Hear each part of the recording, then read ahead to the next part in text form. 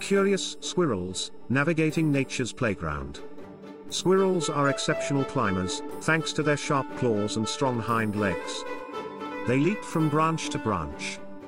A thrilling aerial ballet, showcasing their agility and adaptability in the wild, truly nature's agile acrobats. While most people associate squirrels with nuts, they are actually omnivores and have a diverse diet. Besides nuts, they also eat fruits, seeds, insects, fungi, and even bird eggs. Squirrels are territorial creatures. And they mark their territories with scent markings and vocalizations to deter other squirrels from intruding. Squirrels build several nests. Known as dreys, to serve as shelter and protection.